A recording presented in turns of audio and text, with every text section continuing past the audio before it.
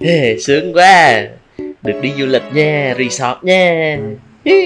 Three days later. ê đâu à? Đâu à? Kỳ vậy? Ê sai sai sao vậy? À trời. Má, coi tao như cái trai bót luôn á hả?